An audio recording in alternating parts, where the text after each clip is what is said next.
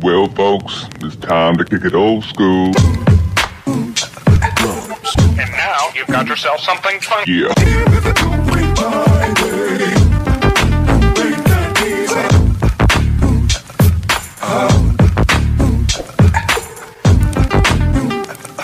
So,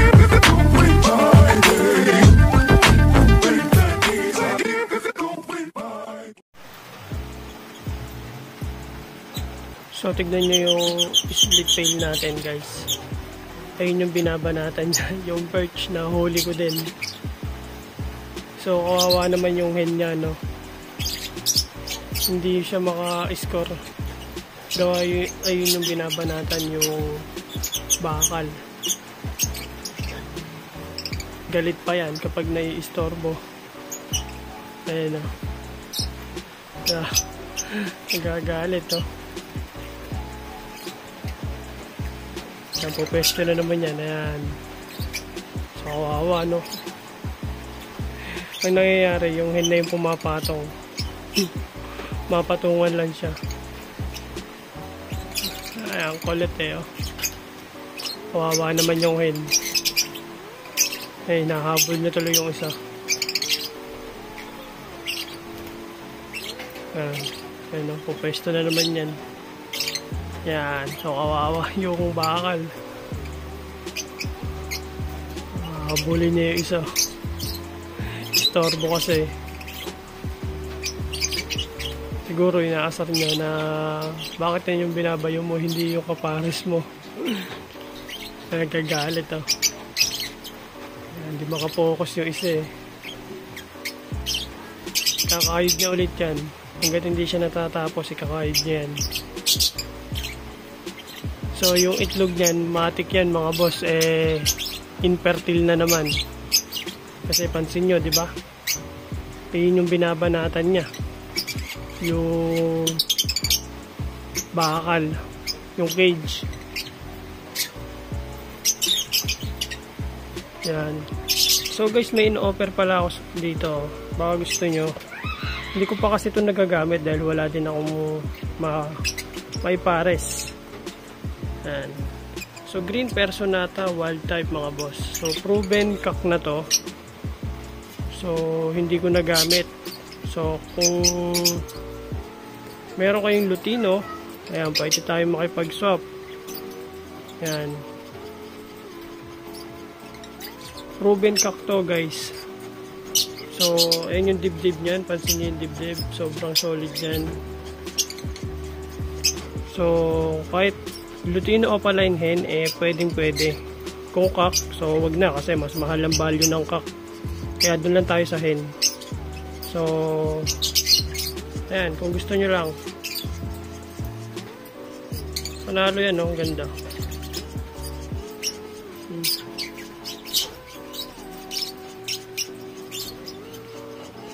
So, kakatapos ko lang magpakain. So, medyo tahimik na sila. Kanina napakaingay. So, pansin nyo yung dito natin, eh, banded na banded na sila. Yan, so sobrang magkatabi na sila. Pero hindi pa natin sila nilalagyan ng nest box. So, hindi pa tayo kontento dyan. Sa ganyang banded. Kasi medyo bata pa tong dalawan to eh. Bata pa. So, mas maganda na ito kung gumulang sila para super banded na sila. And ito yung dilute natin. Kakatapos lang din kumain.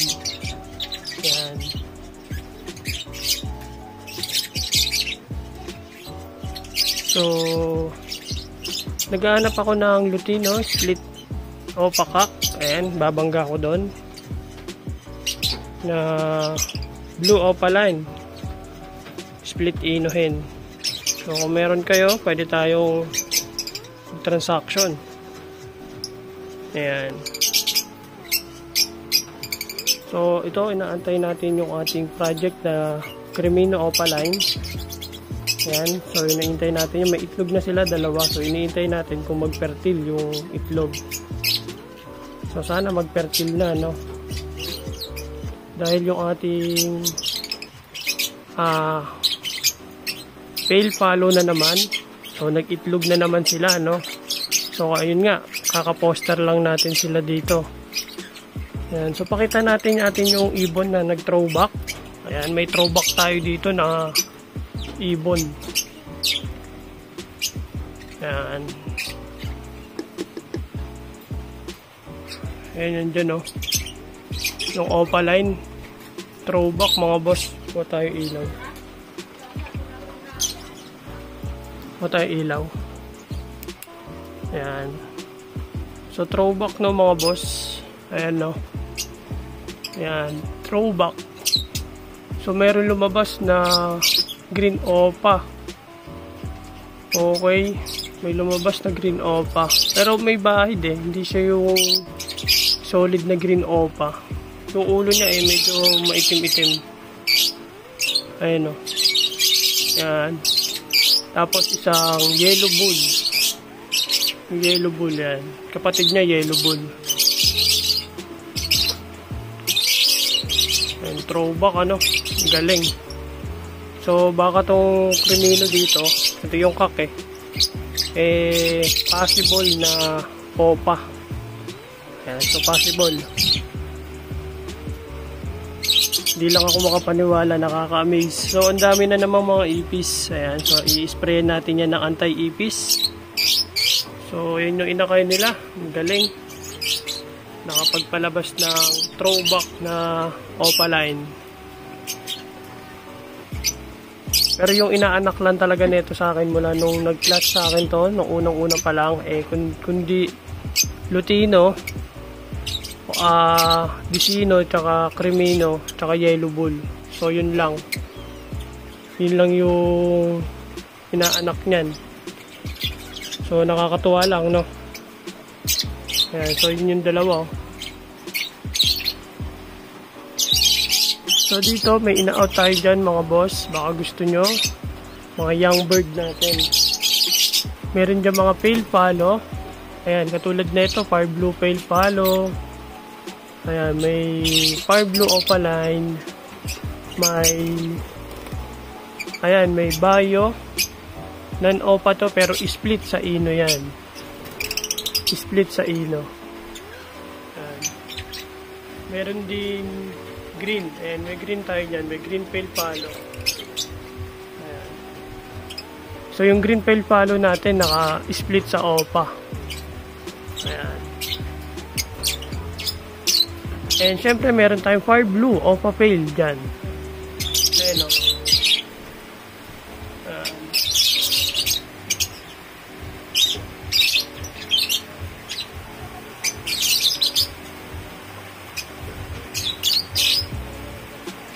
So solid yung fire blue o papel kasi galing niya kay Sir Elmer. Yan. So, ito yung ating Personata Wild Type. So, kakatapos lang atang pakainin yung yung pale follow natin. So, silipin natin to.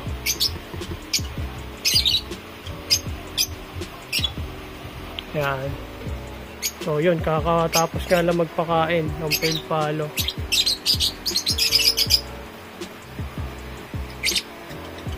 Ano? Huwag yan natin storbohin, no? Ayan, so yun lang yung update mga boss. So bukas kita-kits tayo sa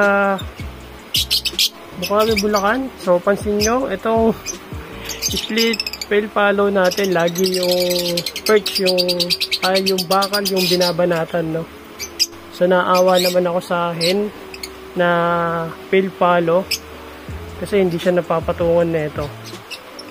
Okay, so hanggang dito na lang mga boss. So thank you, thank you talaga sa panonood sa walang sawa. So,